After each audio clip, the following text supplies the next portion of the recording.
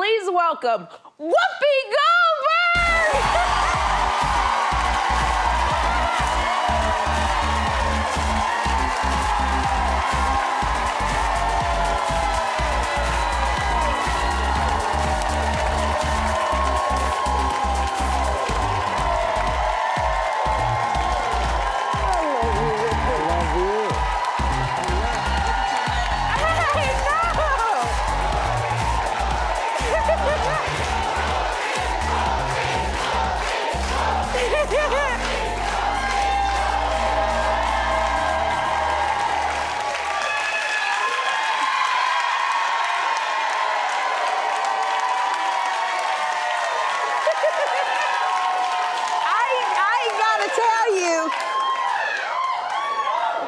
this this this is like the, just one of the biggest highlights of my life, Whoopi.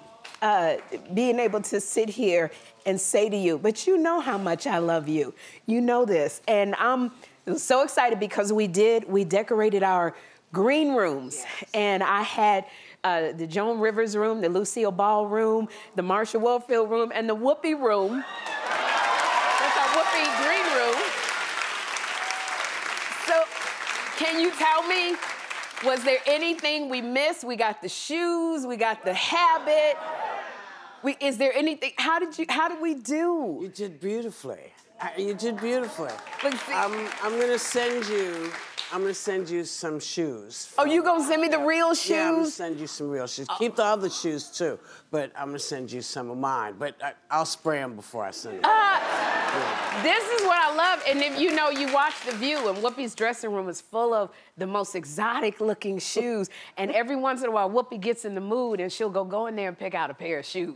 And so I went in there and I picked out all the ones. She's like, "Bitch, I said one pair of shoes. Where you going with all these shoes?"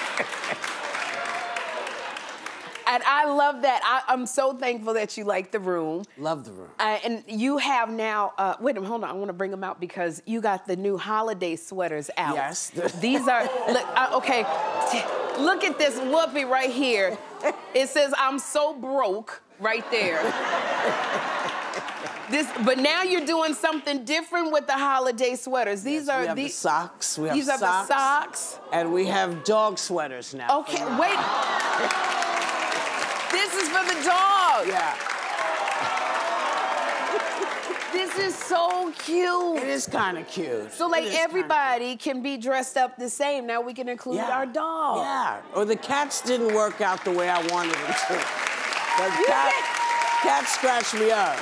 Okay, you tried to put it on the cat. I tried cat. to put it on the cat. Cat said, "Get away from me." so you did it on the dog. I did. So I put it on the dogs because you know Alex, my daughter, has two uh, Frenchies and yeah. chocolate lab.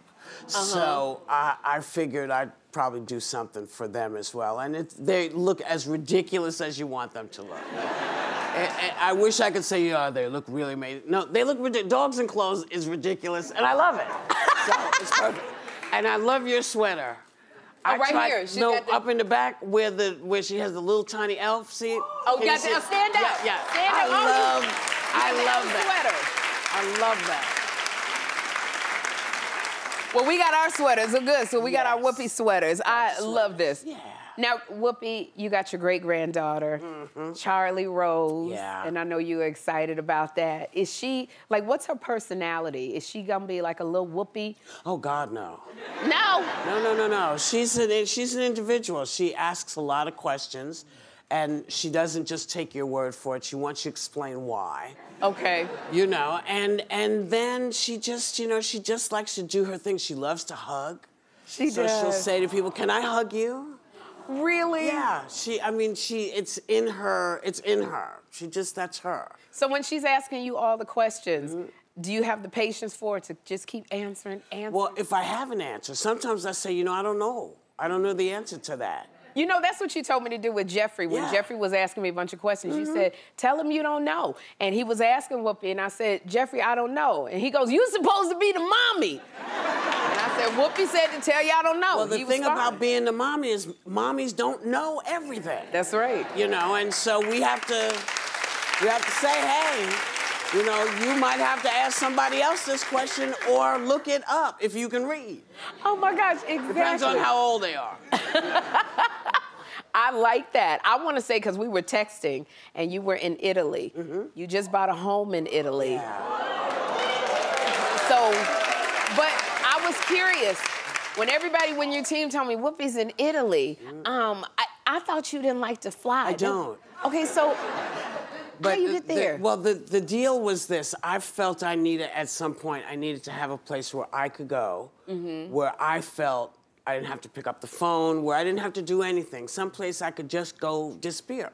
Yeah. And I borrowed some money from a friend of mine because I found something that I wanted and I didn't have the dough. You know, mm-hmm. I got a lot of family. uh-huh. And a friend of mine was good enough to, to loan me the dough. And when I started to realize that that was the place for me, Tom and I had a conversation, and he said, You know, you can't do what you used to do, which yeah. is have all these places and then you never go because you don't want to get on the plane. So I said, You know, you're right. You're right. So I, you know, the people at Delta have been really nice to me, and uh-huh. I've been sort of getting on a plane and swallowing. I just came back actually from um, Disney. Okay. I went down and, and read the Christmas story. Right. Didn't get hit by lightning, so I'll probably be back next year as well. Um, you know. Because you're like, and the Lord said, you know. And it, it, turned out all right. But I, so I, I've been flying. I still don't love it, but I know that at the end of the trip, I'm going to be someplace where I can just be. And just relax. Yeah. Your spirit. Yeah. Yeah. yeah. That, I, you know, because I know when you have your Christmas parties at home, you're going to have a Christmas party maybe in Italy.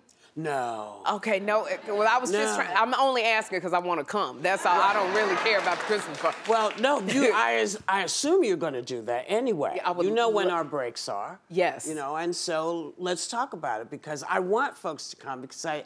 I feel like everybody needs a place, whether rea- it could be just your room, but it has to be a place where it's just you and everybody knows not to bother you. You know, just, and I've never had that. You know, I've always sort of been accessible to everybody. I've, I've never had a place where I just was, where people know not to do it. And everybody's left me alone. It's been the greatest thing. Okay. So I feel good about it. I want that kind of recharge. Yeah. Can I just say how amazing you look? Oh, Whoops, thank you so much. Thank you. You're welcome. I just I appreciate. I'm trying. Yeah. I'm trying. Because you know, and I've told this story about when you took me and you bought me clothes when I first came out from California because well, I didn't know how to dress. Some, yeah, you needed some help. just in terms of weather, she what she didn't. I had a Gap was, tank top yeah, with a bra strap showing. And it was cold, and it was like, babe. You gotta put some, you gotta get some, come on, let's just go shopping. And she's like, no, no, I don't have the dough. I said, don't worry about it. Just, well, let us get you what you need. So that's not something you have to think about. And you said you know? to me when they told me, but wait, when they told me when I was gonna pay, I thought my card was gonna get declined when I went to pay for it. And they said, Miss Goldberg paid for it. And when I was crying again in your shoulder, Whoopi said to me, pay it forward. Yeah. That's what you always say. Yeah. Pay it forward. Yeah. Because you're amazing like that. Well, no, listen, people have been really nice to me through my career and been really good to me. People don't understand that. And it's not because you know about it, it's always quiet on the down low. And, and it's because if you know somebody can use some help and you can help, why don't you help? You know, so it's life is good. Life is so good, and you are paying it forward, and you are doing, you are just expanding everything in your repertoire, as if you can't expand anymore. You are executive produce. You did executive produce a Lifetime movie, and the Lifetime movie was called A New Orleans Noel. Yes. And you did this, and you had that's Keshia Knight Pulliam who's having yeah. her baby. Yeah. But Patti. Patti LaBelle. Okay, you the great Patti LaBelle. Yes. Why was it important to have Patti? In your movie? Listen, Patti needs to be in every movie. you know what I mean? I just feel like no matter what's going on, could be a, a, horror movie, and then you know you're going up and you're going like this, and suddenly a door opens, and says, "Hey, it's me, Patti LaBelle. You all right?" I, I want her to be in everything because she is, to me, she is one of those people that is a one of a kind. Yes. There's no one like her. And when they said that it was going to be Patti's movie, I said, well, I, be, what, what can we do to help? Because Tommy adores her as well. We so, so we do. we try to we I, we try to bug her a lot, you know. And you bugged her, and here in this book, uh, you you are bugging us. I love it. It says two old broads, stuff you need to know that you didn't know. now, what do you wish you would have known before you wrote this book? Well, I, here's the thing. My friend Emmy Hecht, who uh-huh. 93, just passed. And she was the most remarkable hip surgeon. And she really wanted to talk to people about getting older because everybody fetches about it, but nobody is willing to stop getting older, really because we know what that means. So she felt that if you were going to age, have a good time. And she said, okay. but my book feels dry. Can you bring some humor to it? So I said, yeah, I, I can write some stuff. What, what? So I wrote some stuff, and she said, no, no, I need a little more. I'm like, uh, okay. And so I wrote some more, and then after after she'd passed and I really read it, I, I found that we are quite simpatico. She was, she's an amazing, she was an amazing woman. I met her because I went to a fashion show, a Ralph Rucci fashion show. Mm. Now, Ralph Rucci, you know, that, those clothes are like, you know? And these two ladies were sitting there and, and I leaned over and I said, you are the flyest bitches I've ever seen in my life. You know?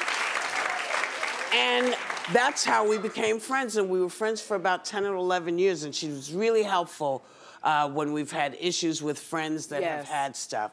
And so she was just, she was wonderful, and and all she wanted to do was make sure this got done. And I just, I really wanted to make sure we got it done before she passed, and we did. And you got it yeah, done we got it done. Yeah. And another thing you're about to do, uh, very quickly, uh, Sister Act 3. Sister yes. Act yes. 3. Okay, now I am hearing, I am hearing rumors that Lizzo and soon-to-be mama Keke Palmer might be in, in Sister Act 3. And maybe even Sherri Shepherd, you don't know. Oh, Lord. Oh, my God. But wait, before we talk about Sister Act 3, you should know that we, we got it, we got a script, and we're working on it, and we're trying to figure out where everybody fits. We want to get Maggie back, we want to get everybody yes. back in and take it. But I want to encourage people to go see Till, which is the yes. other film yes. that we produced. And this yeah. is the story about Emmett Till. Yeah, and, and it, you, yeah. you produced this movie as yeah. well. This took you 20 years. Well, it, it took me 11. 11. And it took the writer 20 years to get anybody to pay attention. Because mm. people kept saying, nobody wants to see this movie, it's not good. But I must tell you, if you have 11 year olds, you can take them to see this movie because this is a movie fundamentally about a mother and a child. That's what it's about. You know what happened to him. You're not going to see that happen to him, but you will be with her as she makes really crucial decisions about how her life is going to go forward. It is not something you should be afraid to see. Everybody should see it because we all know mothers, we all know sons. And this is a reminder that if we let racism run rampant, this is what happens. The outcome of what they did to Emmett is what happens. And that should concern us all everybody. It's not just one group now, it's all of us. So please go see the movie. The, the mother is magnificent, Danielle. Danielle. Danielle Deadwyler yes. is superb. She, you, you well, you've never seen a performance like this, and the young man playing Emmett is delicious. I play her mother. I'm good. you know but that's that's all of it. That's what's been going on. And this is why we love you so much because you really do live the pay it forward life. You do. And you care about so many people. And as I was telling the audience, they just don't even can't even scratch the surface of Whoopi Goldberg, Caryn Johnson, the the love of my life, and I thank you, Whoopi, for saying yes to me. That this Every means day, so all much. Day long, anytime, Sherri. You know I love you. I love you too. Whoopi's book is out now, and studio audience, you are all getting a copy of Two Old Broads.